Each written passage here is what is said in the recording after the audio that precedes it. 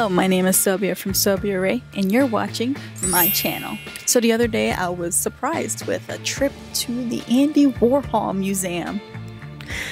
I, I was so excited. I haven't been to an art museum in so long, and it's just so nice to be able to go to one and experience art. I wasn't able to film inside of the museum. That's only because they don't allow it. I want to be able to go back to the museum again, especially if I'm publicizing this video. I don't want to publicize a rule that I broke to a place that I want to go back to. I did do what I could though to try to kind of show certain parts of the experience without revealing the whole experience, but I did take pictures. Now let's start this off talking a little bit about Andy Warhol right? If you don't know who he is, he is an artiste of the 1950s, 60s, 70s, a little bit about his childhood. His parents came in from Slovakia. They were immigrants and they raised Andy in Pittsburgh. He grew up around a Great Depression. He was very much surrounded by industrialism. Pittsburgh's actually the capital of the steel industry, if you don't know. Andy Warhol was a pretty sickly child.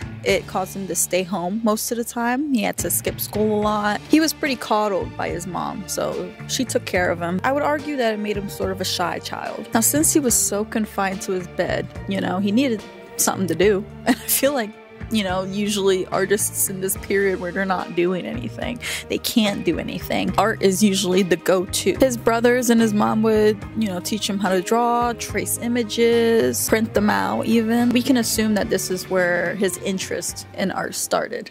Look at how convenient it is for it to start mildly snowing, kind of raining, even. It's kind of snowing. We'll see how long this takes before I head back inside. So the Andy Warhol Museum is in Pittsburgh. Pennsylvania. And I would say the area was pretty artistic. There was color everywhere. This community center, there was a whole mu uh, mural that I interviewed my man in front of, which you can view in a second here. When we went into the museum, I remember seeing the couch. I guess it was his couch. There was a picture up top of him sitting in the couch. And I really wanted to sit in the couch, but I wanted to respect the piece, you know? So I didn't want to touch it, but I touched it. I just didn't sit in it, you know? Damn, it really is chilly out here. Oh shit, my nipples are getting like diamonds. Ooh, the echo. Can you tell where I am? Five bucks to whoever guesses it right. One of the first pieces we saw was touch sensitive, so that was real fun. Like there was an actual art piece that he drew, however, the line work was recreated using 3D printing to create a textured form of it. You get to feel what he drew. Something else that I liked was the silver balloons. It was definitely more of an immersive experience. Now, I don't want to devalue whatever the deeper meaning is behind why he created this experience, right? But it just felt like it was aesthetic. And I feel like that was actually his purpose, you know? And this is something I've noticed about a lot of the pieces in the museum. The enfant terrible become grand old man of modern art. But would he reveal much of what is behind the enigmatic image? This is the first sort of major series of self-portraits for quite a long time. What prompted this one? Uh, well, I, it's just I ran out of ideas.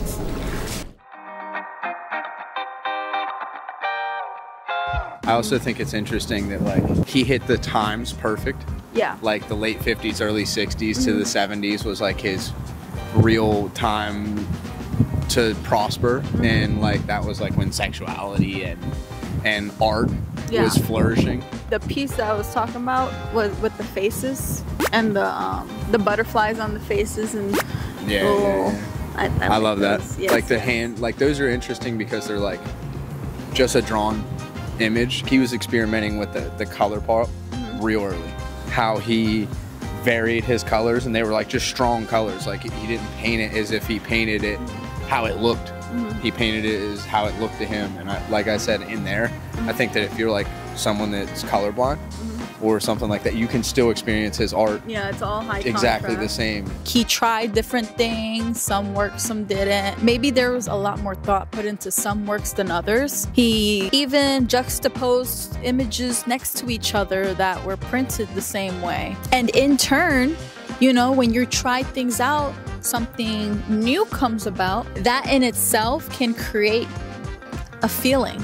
And people felt a lot of things looking at his works, right? They were trying to understand who he was as a person, how complex of a human being he was, and trying to understand him through his art. Maybe how he talked, what he talked about. He was a very private person, so not everybody understands Warhol and his full complexity as a human being, right? It was only an idea, like it came out of their head how it came out, Yeah. and they don't care if it was correct, Mm-hmm. if you will. Like it doesn't need to be anything Mm-hmm. except for what they imagined. Exactly. That's the true stamp of an artist that you're able to create something that isn't or that wasn't there before, Yeah, an idea.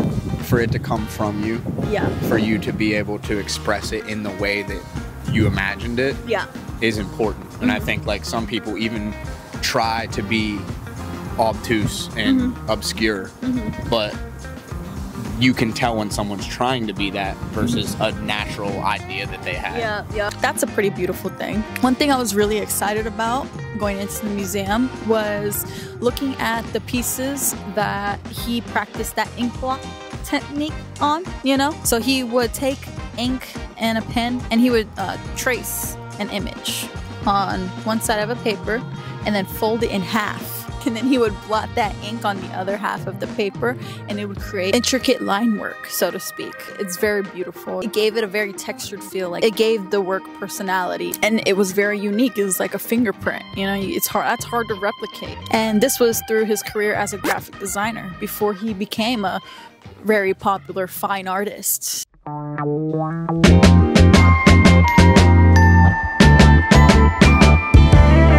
I think that with mass duplication of a work, of a piece of art, of a certain thing, it almost has you questioning the value of it. If I can replicate this thing over and over and over again, how valuable is it really? Is it really that unique? And in terms of uniqueness, how does that determine something's value? Why does a rarity ter- determine something's value? If you really think about it, right, there's a beauty in forcing you to look at something over and over and over again, even making it a little different and putting it side by side.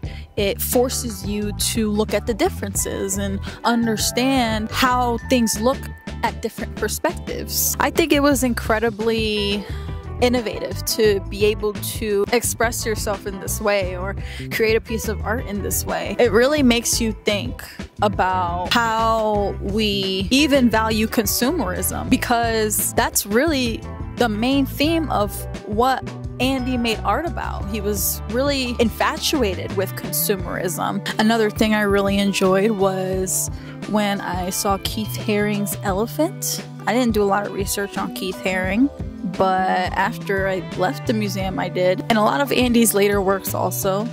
The way he used color, I would say it's reminiscent of Cubism, which is a genre of art that existed the era right before Andy came into the art world and did his thing. Also, he experimented with acid. He was kind of experimenting with how oxidation affects color in a way. And this is incredibly interesting because there is a skill to manipulating such a material that is incredibly unpredictable, right? You don't know how the colors are gonna disperse. I don't know, I've never done that medium before. Maybe I should on this channel. Let me know. That would be cool to experiment with, right? But it really is not easy to get what you want. And it's easy to pursue mediums when you are incredibly open to whatever outcome comes. I think there's a beauty to that as well. I think to understand Warhol is to understand that there is something therapeutic about just letting things happen, especially when you consider in his earlier life that he had anxiety and art was perhaps his outlet, you know, a way for him to let go and just let things be. And I think this is what makes him incredibly versatile as an artist as well.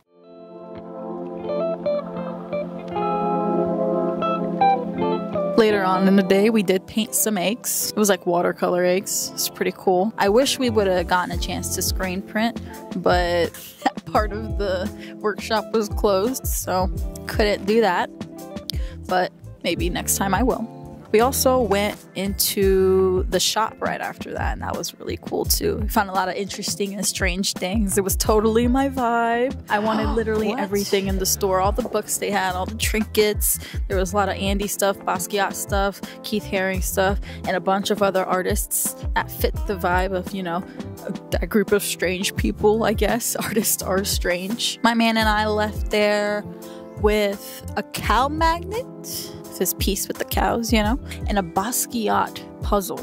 It was like a it was like a painting, but in a puzzle, you know. When we left the museum, there was also a piece of paper on his car. It was just a blank piece of paper that says, "Please pay eight dollars on your way out," which you know, if you think about it, you know, if you believe there are still good people in this world, then I guess you would leave a piece of paper like that, but we didn't because it was too easy to just leave. We didn't have to pay when we came in. There was nobody at the booth, so like the fact that they would expect us to pay, which is it was weird, you know. We ate some buffalo pizza at the Iron Born Pizza. Yeah, that was pretty good. We also had caramelized onion sauce with these homemade chips. I assume they were homemade because they were super seasoned, super irregular shaped, and very delicious. I got some cookies and cream bubble tea, and some random person gave my man a flower. Wait. This man just get. That was for you, baby. I was looking good today and you gave me a flower. Okay. Damn. Uh, I'm getting to play, baby. You ain't out. he said he's getting to play. What the hell? We also ate at August Wilson Park, and that was my favorite part because it was very nice to look over the view. I mean, there were a lot of trees in the way, but if you think about it, it was still nice to sit there and eat together at this park, secluded away from everybody, and just hanging out. August Wilson is apparently a playwright, so that was cool to, you know, read some of the quotes that were on there and learn about them. It's very interesting to see everything and to understand how how geniuses are made in art, you know? Like nobody really understood Warhol fully. We all understand that he's a complex human being, but I feel like that's all there is to know. It leaves you thinking about the art. It allows for there to be some mystery and the mystery is left for you to figure out. So so that's that, you know? I found him really interesting. I think I'm pretty complex. Maybe I can make some crazy art and change the world someday. I don't know. We'll see be cool to create my own genre. I feel like there are so many talented artists out there now, though, you know? It's time to close off. My nipples are hard. So, bye.